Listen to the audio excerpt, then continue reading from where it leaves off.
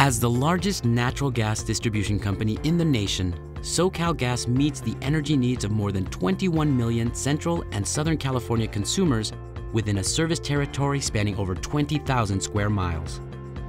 And energy from natural gas happens through our pipeline and underground gas storage system.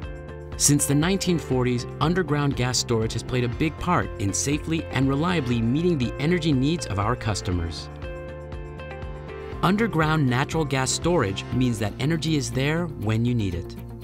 Much of the natural gas used in Southern California actually comes from faraway sources, such as the Rocky Mountains and southern central states, moving relatively slowly through the transmission pipelines.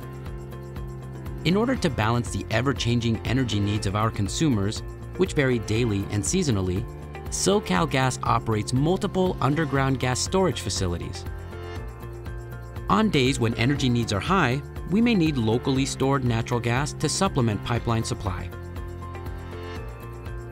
Natural gas is stored deep underground inside porous sandstone beneath a layer of impermeable caprock, creating a safe and natural storage reservoir. These reservoirs once naturally held gas and oil securely for millions and millions of years through countless earthquakes and other natural events. The storage process begins when natural gas is pulled from the transmission pipeline, compressed, and cooled before being injected into the natural storage reservoir located one to two miles beneath the surface. That's a depth greater than 20 football fields.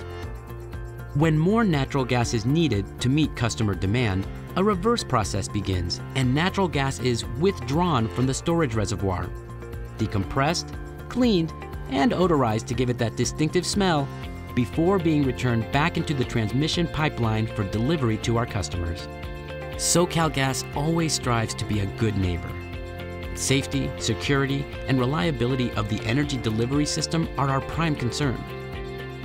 All of the storage facilities are staffed and monitored 24-7 with multiple safety and security measures in place. Though some light, noise, vibration, and even traffic are an unavoidable part of maintaining the energy infrastructure, every effort is taken to minimize these disruptions to our neighbors. As you can see, underground storage is safe for the environment and helps accommodate your community's energy needs.